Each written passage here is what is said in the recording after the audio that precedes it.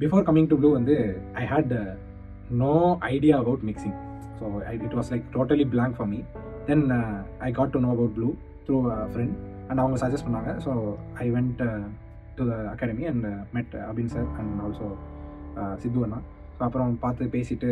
சொல்லும்போது வந்து it was like very homely feeling so அங்கே வந்து ஜாயின் பண்ணணும் அப்படின்னு சொல்லி அந்த மொமெண்ட்டே டிசைட் பண்ணி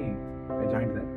even the smallest doubts வந்து அபின் சார் வந்து ரொம்ப வந்து லைக் பொறுமையெல்லாம் அப்படியே சேர்த்து வச்சுக்கிட்டு was explaining us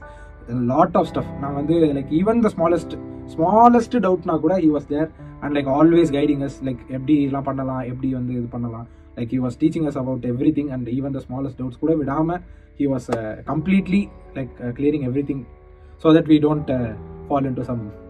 like they this one stuff yeah like yeah it was a really a wholesome எக்ஸ்பீரியன்ஸ்னு சொல்லலாம் so that's one one to explain about your parents